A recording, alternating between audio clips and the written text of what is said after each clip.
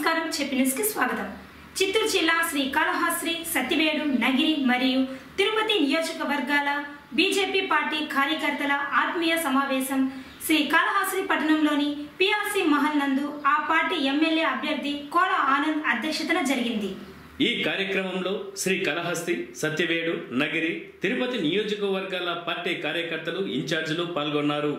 ఈ ఆత్మీయ సమావేశంలో కార్యకర్తలు ఎన్నికల ముందు ఎన్నికల వెనుక ఎదుర్కొంటున్న సమస్యలపై ప్రతిఘటించే అంశాల ఇష్టాగోష్ఠి చర్చలకు ముఖ్య అతిథులుగా ఆ పార్టీ జాతీయ మహిళా మోర్చా ఇన్ఛార్జ్ మరియు మాజీ కేంద్ర మంత్రి శ్రీమతి దగ్గుబాటి పురంధేశ్వరి రాష్ట్ర సంఘటనా మంత్రి మధుకర్ తదితరులు పాల్గొన్నారు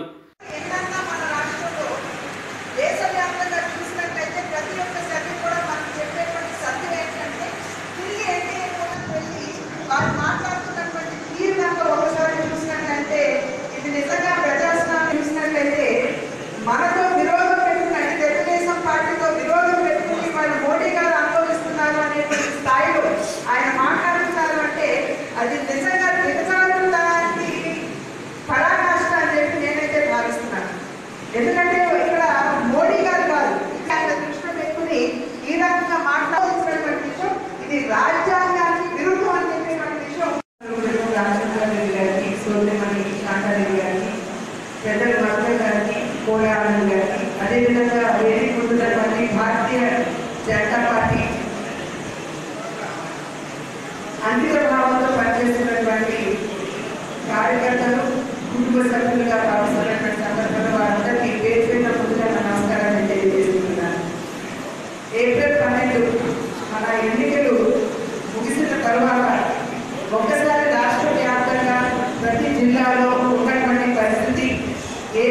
ఎన్నికలు జరిగాయి ఓటింగ్ సర్వే ఎలా ఉంది వీటన్నిటిని సమీక్షించుకోవడానికి ప్రతి జిల్లాకి వెళ్ళి కార్యకర్తల్ని అక్కడ ఉన్నటువంటి ముఖ్య నాయకుల్ని కలుస్తున్నటువంటి సందర్భంలో అదేవిధంగా కార్యకర్తలు ఏ రకమైనటువంటి ఇబ్బందులు ఎదుర్కొన్నారు లేకపోతే వారి స్వీయ అనుభవం ఎలా ఉందని అనేటువంటి అంశాన్ని పరిశీలించడానికి ప్రతి జిల్లాకి వెళ్ళి సందర్భంలో చిన్నట్లే గడిచిన ఎన్నికల్లో సైతం పొ- పొత్తులో మనం ఉన్నటువంటి నేపథ్యంలో మన సొంతంగా ఎన్నికలకి వెళ్ళడం అనేది నిజంగా ఒక అనుభవం చాలా మంది ఒక రకంగా చెప్పాలంటే అనుమానించారు నిజంగా భారతీయ జనతా పార్టీకి అంత సత్తా ఉందా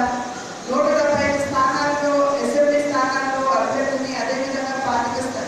పార్లమెంట్ స్థానాల అభ్యర్థిని నిలబెట్టగలదా అని చెప్పి చాలా మంది అనుమానించినటువంటి సందర్భంలో ఇవాళ నిజంగా భారతీయ జనతా పార్టీ తన సత్తా చాటుకున్నది అని చెప్పి నేను భావిస్తున్నాను ఎందుకంటే నూట డెబ్బై ఐదు స్థానాల్లో నూట డెబ్బై మూడు స్థానాల్లో మనం శాసనసభకి సంబంధించి అభ్యర్థుల్ని నిలబెట్టగలిగాం. అదేవిధంగా మనం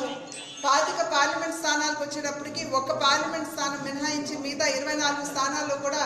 మనం అభ్యర్థుల్ని నిలబెట్టుకోవడం అన్నది జరిగింది. అయితే ఇది నిజంగా మనం ధీటైనటువంటి జవాబు ఎవరైతే మనని అనుమానించారో వారందరికీ కూడా మనం ఒక ధీటైనటువంటి జవాబు ఇచ్చామనేటువంటి విషయాన్ని ముందు మనం గుర్తుంచుకోవాల్సినటువంటి అవసరం చాలా ఉంది. అయితే ఖచ్చితంగా ఈ ఎన్నికల అనుభవంలో మనకి అర్థమైనటువంటి విషయం ఏమిటంటే కార్యకర్త యొక్క అంకిత భావం వారు ఏ రకంగా పనిచేస్తారు అది మాత్రమే కాకుండా కార్యకర్త యొక్క బలం. సత్యం ఏంటంటే తిరిగి ఎన్డీఏ కూటమి అధికారంలోకి రాబోతున్నది అని అది ఎవరికో కలిపి మనకి దాని కూడా అయితే ఈ నేపథ్యంలో మన రాష్ట్ర ముఖ్యమంత్రి గారు ఆయన ఏమిటి ఉన్నది అనేటువంటి విషయం మనందరికీ అర్థమవుతుంది ఎందుకంటే ఇవాళ కూడా పరీక్షలు ఈ నాలుగు నియోజకవర్గాలకు వెళ్ళి అయితే ప్రధానమైనటువంటి అంశం ఏంటంటే మనం ఇది ఒక